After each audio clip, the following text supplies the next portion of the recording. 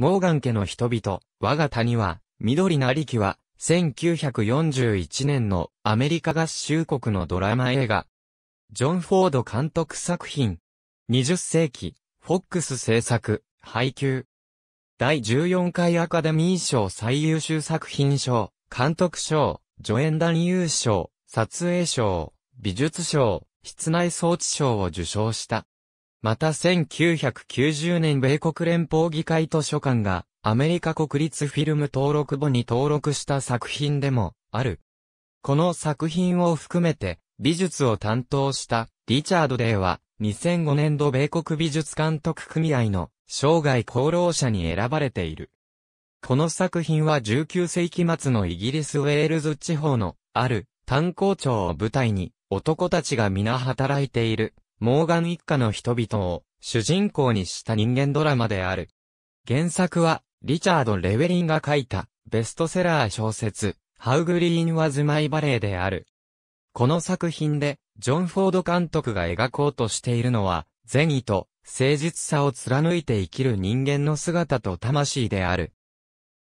今や初老となったヒューモーガンは、生まれ故郷のロンダの谷を出ようとしていた。ヒューは、谷が緑だった頃、一家みんなが揃って幸せだった少年時代をしみじみと解雇する。モーガン家の男たちは、末っ子のヒューを除いて皆炭鉱夫であった。父、ギルムをはじめ5人の兄たちが稼いだ賃金は、いつも家の戸口で出迎える気丈な母、ベスのエプロンに置く。姉、アンハードが沸かしたお湯で体を洗い、食事に就くのが日課である。そんな平穏な日々の中で長男が結婚、一家は幸せだった。披露宴の日、アンハードは新しく谷に赴任してきた牧師、グリュフィードと出会い、互いに密かに惹かれ合う。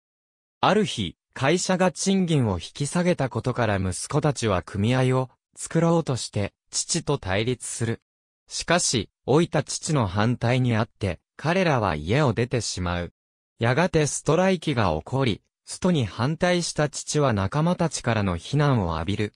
吹雪の中の野外集会で夫を非難する連中を、やり込めた母は帰りに川へ落ち、助けようとしたヒューは、重傷の凍傷になってしまう。再び歩けるようにはならないかもしれないとの意志の言葉に絶望しかけていたヒューを救ったのは、グリュフィード牧師の愛情あふれる手助けだった。数ヶ月後、ヒューは健康を取り戻し、再び自分の足で歩けるようになる。ヒューの面倒を見たことから、モーガン一家と親しくなったグリュフィード牧師は、アンハードを深く愛するようになる。しかしグリュフィードは、彼女の幸福を思って、炭鉱主、エヴァンズの息子との結婚を進め、自分は身を引く。ヒューは、グリュフィードの助けもあって、モーガン家で初めて学校へ通うようになる。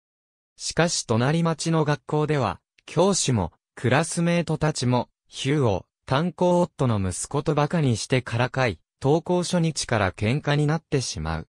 傷だらけで帰ってきたヒューを見て、谷の人々は憤慨、ヒューにボクシングを教えて鍛える。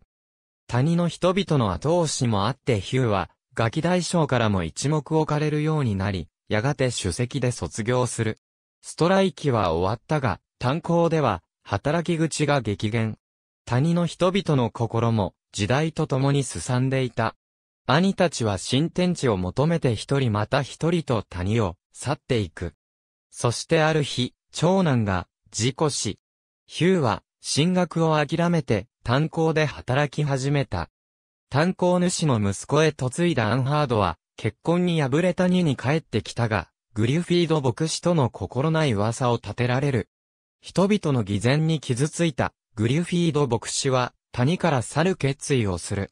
その時、炭鉱から落盤事故を知らせる警笛が鳴り響く。ヒューは戻らない父を案じて、グリュフィードらと共に行動へ入っていく。岩に挟まれている父を見つけたヒューは、なんとか助け出そうとするが、父は、お前はもう一人前だの言葉を残して生き絶える。父の遺体と共に地上に戻ってきたヒューは、かつての幸せに溢れていた日々を思い出す。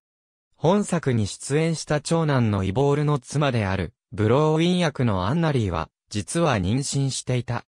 だが、監督のフォードはそれを知らずにブローウィンが、階段から転げ落ちるシーンを撮影。この撮影が原因でアンナは、お腹の中にいた子供を流産してしまう。フォードは後になって、その事実を知り、死ぬまで自分を責め続けた。ありがとうございます。